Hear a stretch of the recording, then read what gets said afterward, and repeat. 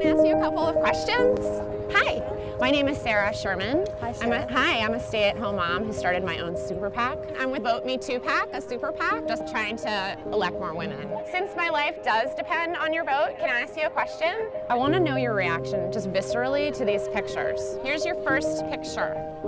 Can you see that? Makes me sick. Ugh. Disgust, Disgust. Gross. right? Bigotry. What do you see when you look at this? Assholes. Old white men. Evil old men. A bunch of white men. White men White men.